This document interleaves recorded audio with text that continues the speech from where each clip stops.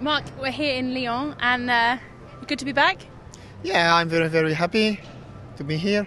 It's my uh, country, you know, and uh, this show is very, very nice. So, and uh, and I'm very proud about my my mare. Today she was, uh, yeah, really quiet, and uh, first show for her inside.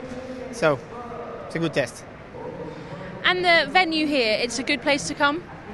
Yeah, yeah, it's a good. It's a good place. You know, the organization and uh, and uh, yeah, everything. Also, the audience uh, tomorrow for the freestyle.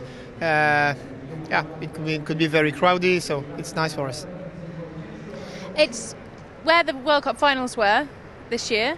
Um, how d- does it make a difference coming back?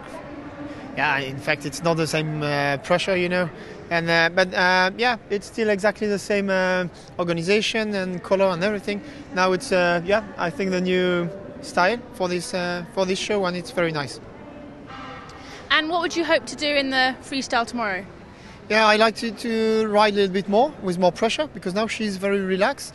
So uh, today um, uh, we saw uh, a piaffe, and she really started to, to, to piaffe very well. Okay, uh, at the end a little bit mistake, but but I felt something different, and uh, yeah, I would like to looking for the same uh, tomorrow. We had an early Grand Prix today and a late freestyle tomorrow. How do you work your horse's schedule to make sure they are right for both classes?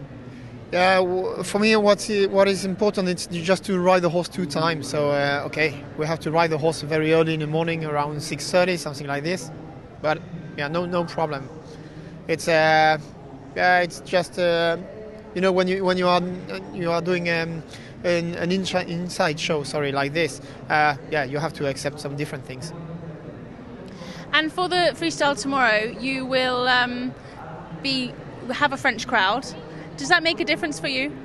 Yeah, yeah, that's also very very important. But anyway, you know what? Uh, when when she's uh, doing yeah a, a nice trot or a nice passage, and everybody are very very happy. And uh, I was in Holland or in England uh, last year, and uh, every time it was the same. Uh, there was all the audience was very very happy. So So you look forward to it. yeah, exactly, exactly. Great, thank you so much. Well done today, and good luck tomorrow. Thank you, thank you. Bye.